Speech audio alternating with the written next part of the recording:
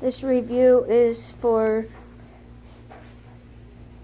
ankle wraps and um, they're ankle wraps that wrap your ankle and your foot. Um, they're made by Asunium. They come in a nice little bag like this that you can put them back in that makes them easy to throw in a duffel bag or backpack. They're really comfortable. They're soft. They're good material.